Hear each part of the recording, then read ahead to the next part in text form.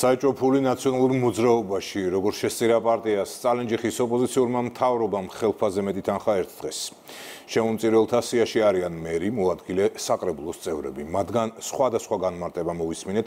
ნაწილი აღიარებს რომ პარტიული დავალება შეასრულა ნაწილი ირწმუნება რომ ხელფაზე მეტის გაღება თავად მოუნდათ. ქართული ოცნებისა და ოპოზიციის ნაწილისათვის ეს უჩვეულო ამბავი მნიშვნელოვანი ეჭვების საფუძველია. მეგინ არსავიძე გიამბობთ დღე დარიცხი ნამდვილად არ მასწავს, რაც შეეხება ჩარიცხვას კი ბატონო, შემოწირულობა გავაკეთეთ, თანამებრძოლები ვართ, მეგობრები ვართ, შესაბამისად მოვილაპარაკეთ, რომ ერთიანად გავაკეთებინ ეს ყველა. ერთობლივად მე არ ვიცი, ვინ გადარიცხა და ვინ რა გააკეთა, მაგრამ მე გადავრიცხე 5000 ჩემი დანაზოგიდან. ეს ურთიერთ გამომრიცხავი განცხადებები და დაბნეულობა წალენჯიხაში ნაციონალურ მოძრაობაში მას შემდეგ გაჩნდა რაც მედიამ პარტიის შემოწირულობების შესახებ კითხვები დასვა. ოპოზიციური პარტიის წარმომადგენლების დიდმა ნაწილმა წალენჯიხის საკრებულოსა და მერიაში ერთდროულად ერთსა და იმავე დღეს ნაციონალური მოძრაობის ანგარიშზე სოლიდური თანხა ჩარიცხეს. მათ შორის არიან წალენჯიხის მერი გიორგი ხარჩილავა, მერის პირველი მოადგილე ივანე ბურდული, წალენჯიხის საკრებულოში ქონების მართვისა და ბუნებრივი რესურსების საკითხთა კომისიის თავმჯდომარე თემურ ქარდავა, საპროცედურო საკითხთა კომისიის თავმჯდომარე რომან კვარაცხელია. ამ ინფორმაციის გასაჯაროების შემდეგ მთავარი კითხვაა, როგორ მოახერხეს საჯარო მოხელეებმა მათ ანაზღაურებაზე გაცილებით დიდი ოდენობის თანხის მობილიზება. ირკვ ირკვევა, რომ პარტიაში ამ საკითხთან დაკავშირებით მესიჯ ბოქსი შეთანხმებული არ ყოფილა. ზოგი აღიარებს, რომ ეს იყო პარტიული მოლაპარაკების შედეგი. ნაწილი ინდივიდუალურ გადაწყვეტილებაზე საუბრობს. თანხა, ჩემი თანხა და სადაც მინდა იქ გადაურიცხავ და ვისაც მინდა იმას გადაურიცხავ. რა არის ამაში გასაკვირი და არაჩვეულებრივი. მე მაქვს ოჯახის შემოსავალი.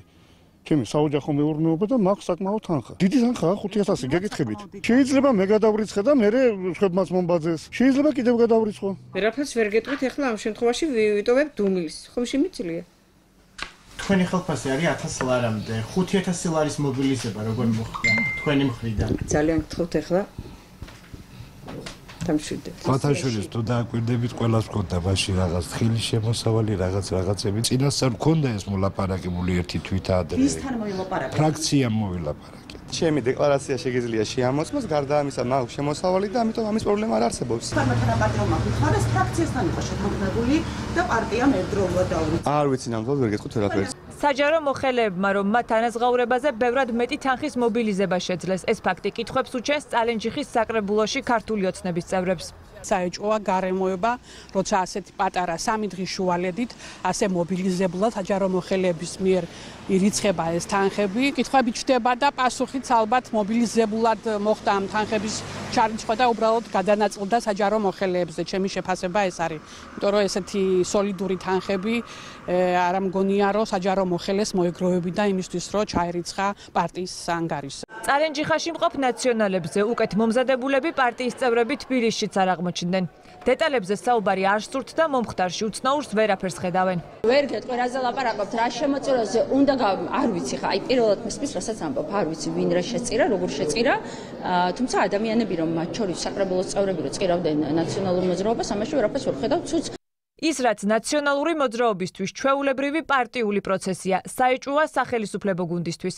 მართველი პარტიის წევრების შეფასებით უცნაურია, რომ წალენჯიხაში საჯარო მოხელეებმა ერთდროულად გადაწყვიტეს ნაციონალურ მოძრაობაში სოლიდური თანხის ჯარიცხვა. არ გამორიცხავენ, რომ ადგილი ჰქონდეს თანხის არალეგალური გზით მობილიზებას. ჩანსო რაღაც პროცესი შეარგო, არ ვიცი ხამას დეტალურად უნდა გამოკვლევა, მაგრამ ფაქტია, რომ შავი ფული ქართულ პოლიტიკაში და ახლა ქართულ პოლიტიკაში ნახეთ, რომ არასამთავრობო სექტორშიც ტრიალებს ასეთ საკითხები, იმიტომაც ხდება ხოლმე საჯარო, რომ გვაქვს კანონმდებლობა, რომელიც გამჭვირვალეს ხდის პარტიების შემოსავალს და გასავალს NGO-ების შემთხვევაში, ჩვენ გვინდოდა რომ სწორედ ასეთივე გამჭვირვალობა ყოფილიყო და მაშინ ნახეთ, რომ რამდენიმე დაინტერესებულმა NGO-მ და დონორმა დეзинფორმაციული შტურმის შედეგად ჩაშალეს იმ კანონის მიღება. ესე შემთხვევით ვიგებთ ხოლმე რომ თურმე პარტია დროას აფინანსებს ევროპის დემოკრატიის ფონდი, რაც კანონით აკრძალულია, მაგრამ როგორც ჩანს მაინც ხდება.